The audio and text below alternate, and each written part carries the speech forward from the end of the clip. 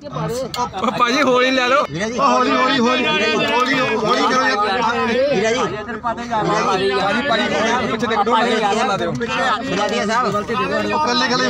ਨਹੀਂ ਬੋਤਲਾਂ ਯਾਰ ਉੱਥੇ ਦੇ ਨਹੀਂ ਆ। ਆਪੇ ਬੋਲਣਾ ਥੋੜਾ ਭਾਜੀ ਸਾਰੇ ਪਾਣੀ ਸਾਰੇ ਪਾਣੀ ਉਧਰ ਉਧਰ ਲੰਗਰ ਲੇਟ ਸ਼ੁਰੂ ਹੁੰਦਾ? ਹਾਂਜੀ ਹਾਂਜੀ। ਕਿੰਨੇ ਵਜੇ?